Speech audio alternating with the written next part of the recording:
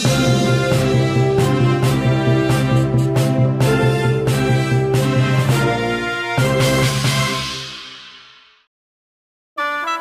บายดี LT Vision ศักยภาพด้านพลังงาน แขวงเซกอง โครงการก่อสร้างเขื่อนไฟฟ้าน้ำบี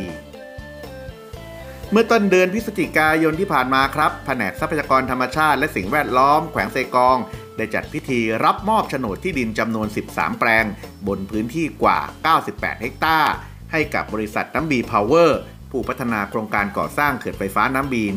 1-3 ซึ่งเป็นบริษัทร่วมทุน ระหว่างบริษัทผลิตไฟฟ้าลาวมหาชน หรือ EDL j a n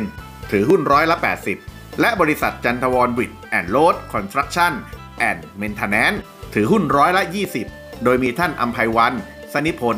รองหัวหน้าแผนกทรัพยากรธรรมชาติและสิ่งแวดล้อม แขวงเซกอง และท่านพลดาวงผมมาจากผู้อำนการบริษัท พร้อมด้วยผู้ที่เกี่ยวข้องเข้าร่วม โครงการก่อสร้างเขื่อนไฟฟ้าน้ำบี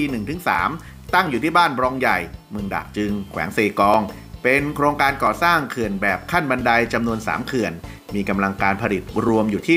135 เมกะวัตต์ ระยะเวลาสามประทาน 25-30 ปี มูลค่าการก่อสร้างประมาณ 276 ล้านดอลลาร์สหรัฐ โดยมีบริษัท Power China Chengdu Engineering ได้รับสัมปทานการก่อสร้างสำหรับไฟฟ้าที่ผลิตได้จะจำหน่ายให้กับรัฐวิสาหกิจไฟฟ้าลาวหรือ EDL ซึ่งโครงการดังกล่าว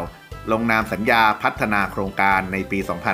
2559 และลงนามสัญญาสัมปทานในปี 2561 ทั้งนี้ครับจากการสอบถามข้อมูลเพิ่มเติม จากหน่วยงานที่เกี่ยวข้องของแขวงเซกอง ทราบว่าในปัจจุบันโครงการดังกล่าวยังไม่ได้ดำเนินการก่อสร้างแต่อย่างใด แล้วพบกับ LT Vision ได้ใหม่ในมือหน้า สบายดี